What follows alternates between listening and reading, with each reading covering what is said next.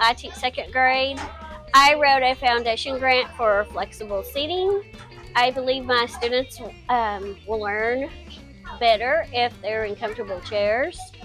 Um, it's very good, and it's sometimes when it gets boring in a chair, maybe this might be funner, and you can sit different ways, and you can stretch your legs and flex your legs.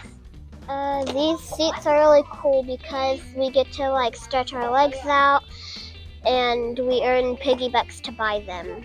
I want to thank you, everybody, for um, selecting my grant as a winner. My kids love the chairs that you provided them. As you can see, how happy their faces are and the looks on their faces, the smiles.